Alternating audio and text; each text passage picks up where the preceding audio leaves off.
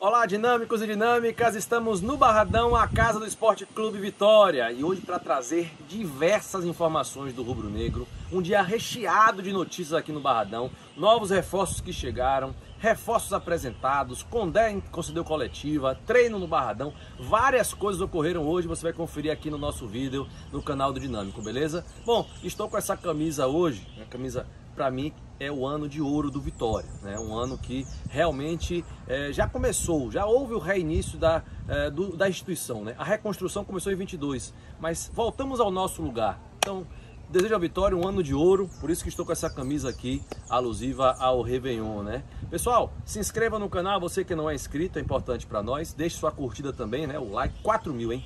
4 mil likes. Sai curtindo aí de onde tiver. Vamos pro vídeo, Igão, Igor Branco. Casa do Esporte Clube Vitória. Deixa eu fazer uma oração aqui. Prefere me dizer ou que eu descubra? Bom, e para início de conversa, a gente vai trazer para vocês que estão aí do outro lado algumas imagens dos jogadores do Vitória. Momentos antes de serem apresentados, eles se reuniram ali na porta dos vestiários, na parte interna, para se deslocarem para a sala de imprensa, né? Foram 10 que estiveram presentes nessa apresentação, conforme você está vendo aí nas imagens. O Ítalo Rodrigues e o Fábio Mota foram quem apresentaram os jogadores à imprensa e, obviamente, à torcida. Não foi individual a apresentação dos atletas por causa do tempo para as atividades que estão ocorrendo, inclusive agora, atrás desses eucaliptos aí. Então, atrás dos eucaliptos está rolando aí, mas a gente vai trazer para vocês as situações que aconteceram, parte aí dos jogadores que já foram apresentados. Você pode reparar que Luan, Everaldo, Alejandro não apareceram, eles não foram ainda registrados no BID. Mas vamos com algumas imagens mais sobre essa situação e a gente volta a falar daqui a pouquinho sobre esses novos jogadores que chegaram no Vitória hoje.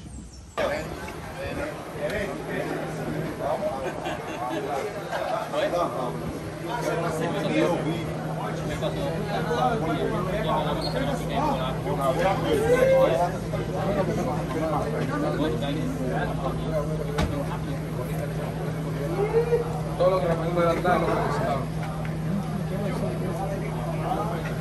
Eu estou tentando. Fala aí. Boa tarde. Beleza? Boa, boa, boa.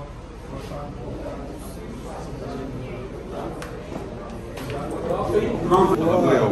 Manda pra lá? Valeu. Ser da resenha. Não, não, pai. Você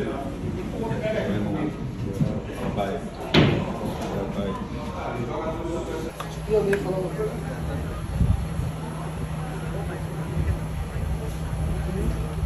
Mas também, ele fala ali, depois assim.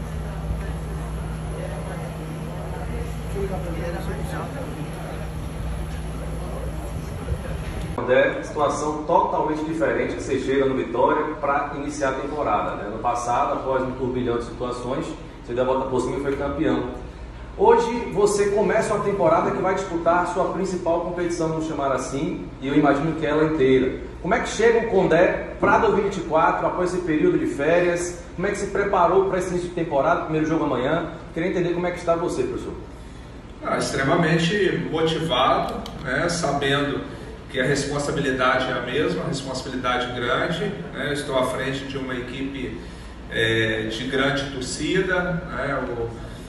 Uma equipe que, que traz um número muito grande de torcedor a campo, mas que também tem vários, tem vários apaixonados espalhados pelo Brasil e mundo afora. Então a gente sabe que, que estar à frente do Vitória é sempre uma responsabilidade grande, mas é um motivo de orgulho e satisfação iniciar um ano é, tão importante de um clube tão tradicional que não merecia passar o que passou nesses últimos anos.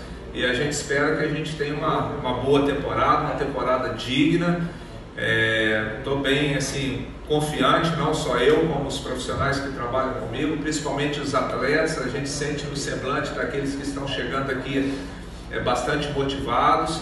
Os que ficaram né, têm o meu respeito e minha admiração, porque é, foi uma conquista de todos, como eu já falei várias vezes, uma, uma conquista da torcida, da direção que, que está sempre tentando melhorar, uma conquista da comissão técnica, mas uma conquista também com muita luta e empenho dos jogadores dentro de campo.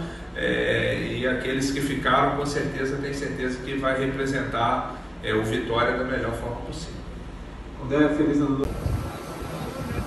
Fala Zapata, muito contente? Muito beleza. Muito contente de estar muito, muito.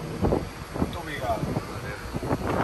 É, e o Luan, Everaldo e Alejandro já chegaram aqui em Salvador, no Barradão. Vocês acompanharam aqui no canal do Dinâmico a chegada destes atletas, na verdade do Luan, né? Depois eu informei sobre o Alejandro e hoje também a respeito do Everaldo. Aí algumas fotos, né? Do Everaldo, do Alejandro também e imagens do Luan que vocês vão ver agora aqui nesse vídeo do canal do Dinâmico. Queria que você deixasse nos comentários aí quais são as suas expectativas acerca desses três últimos reforços do Vitória: Luan, Alejandro e Everaldo. Escreva aí para eu saber como é que vocês, o que, é que vocês estão pensando sobre isso. Mas agora vamos com imagens destes três jogadores fazendo aquecimento aí antes da bola rolar. Solta aí.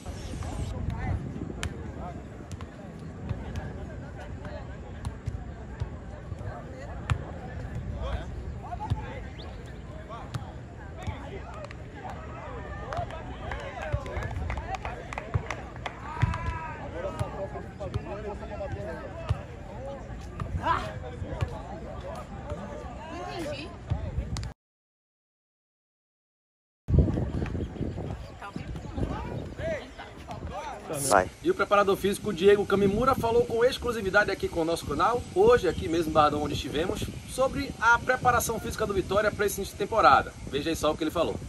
Dá uma mensagem para a galera como é que tá o físico dos atletas, Diego Camimura. Boa tarde, torcedor rubro-negro. Estamos aqui trabalhando bastante para que amanhã a gente pode, possa ter um time é, no mínimo aceitável na questão física e, e, e buscando uma evolução aí durante a competição. E depois de tudo isso, os jogadores foram a campo no CT Manoel Ponte Tanajura, atrás destes eucaliptos, para realizar a última atividade visando o Jacuipense. Partida marcada para acontecer em Riachão do Jacuípe, estádio Eliel Martins, às 7h15 da noite. O canal Dinâmico vai estar na Arena Parque Santiago, hein? Pode chegar lá, 7h15 começa o jogo, mas já estaremos antes com a transmissão Adson Piedade, ao lado de Paulo Isidoro também. Espero que você esteja lá para te bater aquela resenha boa.